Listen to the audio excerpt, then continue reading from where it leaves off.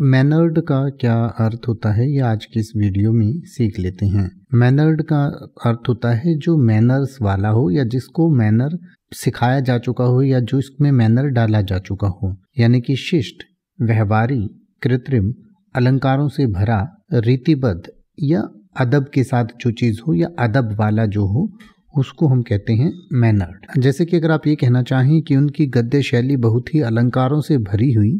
और आत्म सचेत है तो आप कहेंगे his prose style is far too mannered and self conscious his prose style is far too mannered and self conscious या अगर आप ये कहना चाहें कि वे हमेशा पूरी तरह से शिष्ट और खूबसूरती से पेश आते हैं तो आप कहेंगे they are always perfectly polite and beautifully mannered they are always perfectly polite and beautifully mannered अब आप ऐसे ही किसी भी वर्ड का मतलब हिंदी और इंग्लिश में यूट्यूब पर सर्च कर सकते हैं। आपको मेरी वीडियो मिल जाएगी, जिसमें आप बिना किसी फालतू बकवास के सीधा उस वर्ड का मतलब समझ पाएँगे। तो ऐसी ही वीडियोस को देखते रहने के लिए चैनल को सब्सक्राइब करें और बेल आइकन को प्रेस करें।